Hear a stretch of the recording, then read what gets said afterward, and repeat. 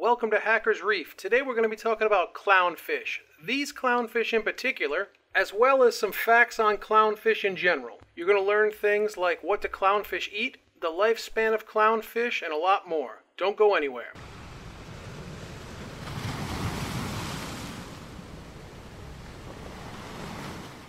Welcome back to Hackers Reef. We're going to talk about these particular clownfish to start off with. If you've been watching our Save the 120 series, you'll know that these guys used to live in the 120 that we're working on in that series.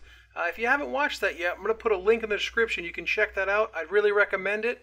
It's a decent series about algae removal and it might help you out with some things. But let's get started with our facts on clownfish. First, we're going to talk about how long clownfish live, the lifespan of a clownfish in general. There's a lot of information online. You can search Google, and the first thing you'll see is they live between three to five years in captivity. There's definitely some wiggle room on that number because the clownfish you're looking at right now are over 10 years old. I don't think it's time to call the Guinness Book of World Records on this, but I think if you take really good care of your fish, you feed them a nice varied diet, they're going to last a long time if you give them a nice environment to live in. I'm definitely not trying to jinx these guys, but I try to take really good care of them. And I would say that the lifespan on a clownfish is definitely higher than that. I don't think every clownfish is going to live this long, but if you follow along and you do some of the care and maintenance routines that I do, you might have some luck and end up with a pair of teenage clownfish of your own. Now that brings us to our next fact on clownfish.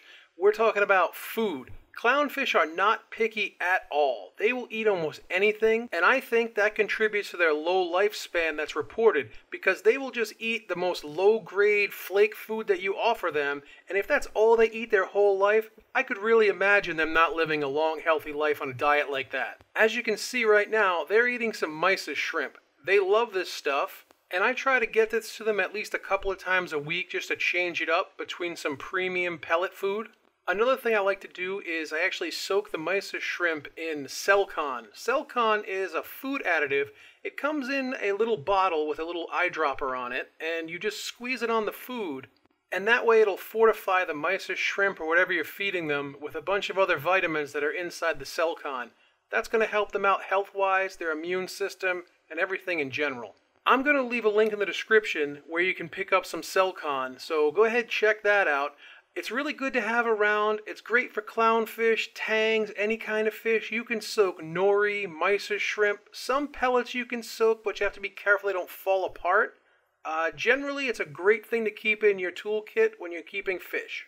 Another thing I want to go over with you really quickly is if you look at the bottom right of the screen, you'll see there's a lot of mysis shrimp still on the ground. Now this was one full cube of mysis shrimp that I just defrosted in a small cup filled with their tank water and then I dumped it in.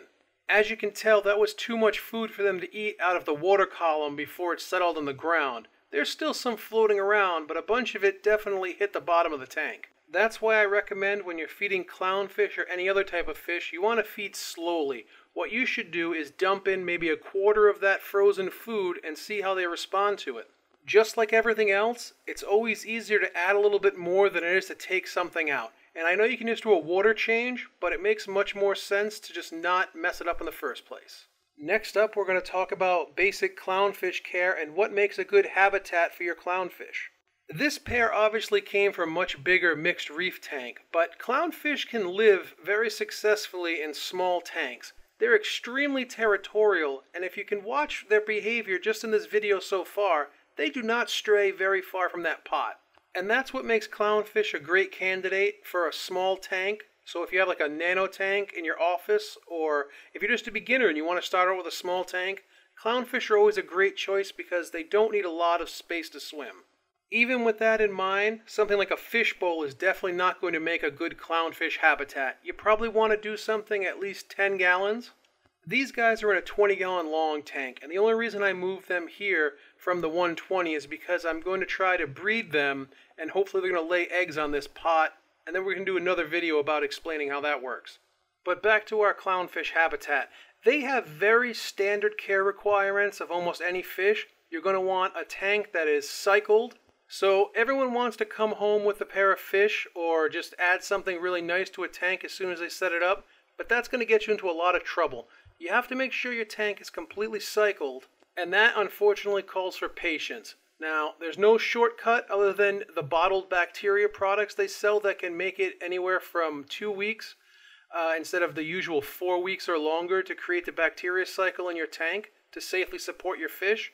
But no matter what way you go, you want to make sure that your cycle is complete, you've tested and verified your water parameters. Speaking of water parameters, depending on what you have in that tank, if it's just a small aquarium like this that just has your clownfish in it, some simple filtration, then you just want to make sure you have low nitrates, no ammonia. Then you want to make sure you stick with the 10 to 25% water change every week, and that's going to be dependent on how much you feed and what your tests say. Very important you test your aquarium at least weekly it's always better to do some tests than just assume everything's going great and wait for a problem to happen. The tests are going to give you hopefully enough warning that you're not going to lose fish or just diminish their health in general. And that's really what it's all about, just reading the warning signs and making good positive changes. I'm not going to cover extensively how to set up an aquarium and all that stuff. Hopefully you know about that. If not, leave a comment below. Let me know if you'd like me to dig a little deeper into that, and I can definitely do a video about that for you. But now I'm going to try to bang out the last of our facts on clownfish, lightning round style. Everybody's looking to get a pair of clownfish. Nobody just wants a singular clownfish for the most part. So sometimes it's expensive to get yourself a mated pair like you see here. Now, you can go ahead and pair up your own clownfish, and it's really easy to do if you follow a simple rule you need to make sure the clownfish are the same species. You're going to have different colored clownfish. Uh, there's all kinds of different designs of clownfish out there, but your basic clownfish like this, make sure they are the same species of clownfish, and then you want to try to get them to be the same size, and you want to introduce them at the same time. So the same size and the same time, you start them out in your tank like that.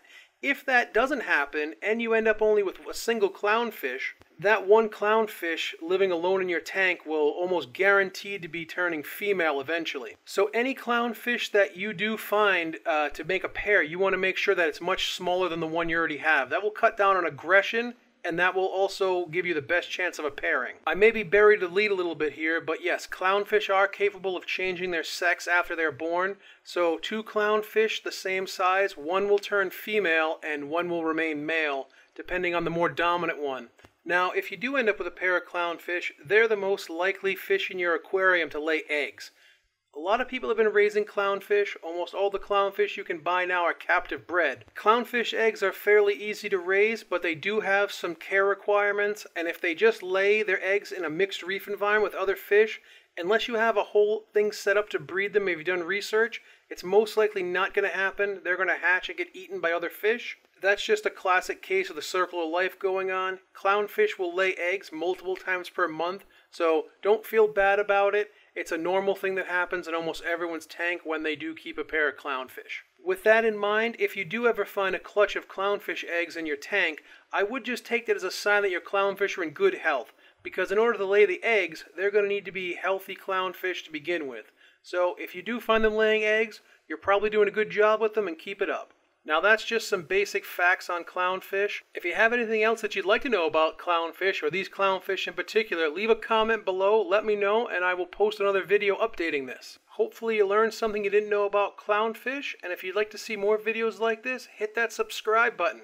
As always, give us a thumbs up if you liked the video, and don't forget to follow us on Instagram, Facebook, and Twitter.